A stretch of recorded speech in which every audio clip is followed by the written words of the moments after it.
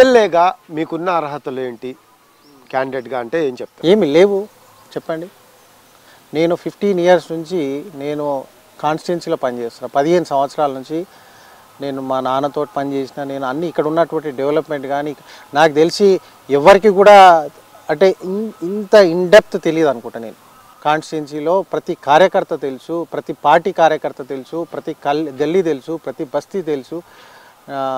అన్నీ నాకు ఎక్కడ ఏ ప్రాబ్లమ్స్ ఉన్నాయి ఎక్కడ ఏ ఇష్యూస్ ఉన్నాయి అని కూడా తెలుసండి. సో ఇంతకన్నా ఏం కావాలండి? ఒకవేళ ఎమ్మెల్యేగా ఎన్నికైతే ఏ సమస్యల్ని ప్రధానంగా ఫస్ట్ సాల్వ్ చేసే అవకాశం ఉంది? మీ అందరికీ తెలుసు తెలంగాణ ఎందుకు వచ్చింది ఏంటి అని. నీళ్ళు నిధు నిధులు నియామకాలు ఒక అంశం. ఇక్కడ తాగునీరు పెద్ద సమస్య అండి. కలుషితమైన కంటామినేటెడ్ వాటర్ తాగి చనిపోతారు బస్తీల్లో. దాని విషయంలో టీఆర్ఎస్ ఫెయిల్యూర్ అయ్యింది అంటే విశ్వనగరం అని కేటీఆర్ పదే పదే చెప్తూ ఉంటారు. విశ్వనగరం అని చెప్తూ ఉంటారు. కానీ ఇక్కడ విశ్వనగరం అంటే హైటెక్ సిటీ ప్రాంతంలోనే చనిపోతున్నారు. సో ఇదొక సమస్య. మరి ఉద్యోగాల ఒక సమస్య.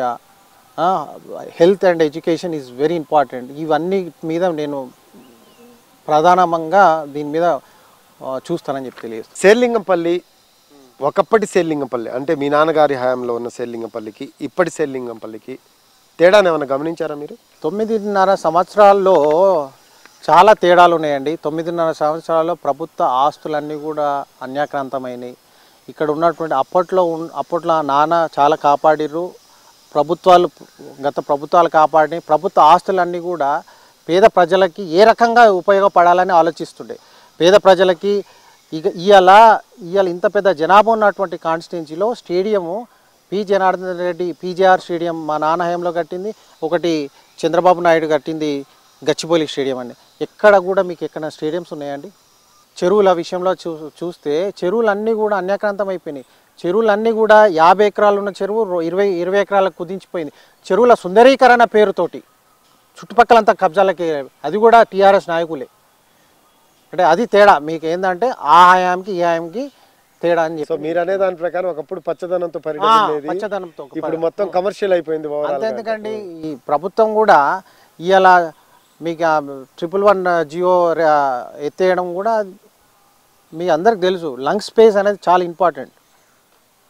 So concrete jungle Serilingampally two thousand fourteen కన్నా ముందు టూ థౌజండ్ తర్వాత ఫోర్టీన్ తర్వాత కాంక్రీట్ జంగల్ కింద మారింది అని చెప్పి నేను తెలియజేస్తున్నా. ఇక్కడ వీళ్ళు ఇచ్చే పర్మిషన్లు యాభై ఫ్లోర్లు డెబ్బై ఫ్లోర్లు ఆ రోడ్డు అంటే నెక్స్ట్ ఫ్యూచర్ని ఆలోచించి నెక్స్ట్ ఫిఫ్టీ ఇయర్స్కో ట్వంటీ ఇయర్స్కో ఆ రోడ్ ట్రాఫిక్ ఎంత ఉంటుంది ఏంది అనేది ఆలోచించకుండా వీళ్ళు ఇష్టం వచ్చినట్టు పర్మిషన్లు ఇచ్చి ఇవాళ మొత్తం కూడా ట్రాఫిక్ జామ్లు చేశారు ఈ ప్రాంతాన్ని.